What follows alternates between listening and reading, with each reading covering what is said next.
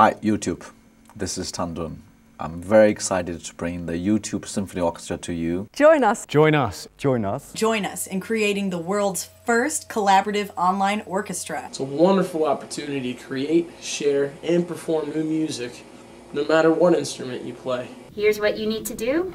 Participating is easy. Go to the Prepare tab, download the sheet music, grab your instrument, and rehearse your part.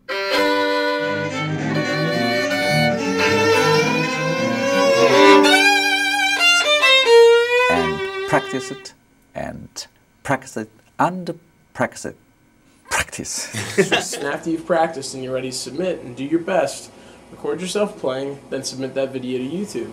I'm very excited to write this piece for YouTube and you. So now I need you to help to play it. This is such an exciting project for us because it's never been done before. It's global. The best and bravest of you will be invited to a performance at Carnegie Hall under the direction of Michael Tilson Thomas.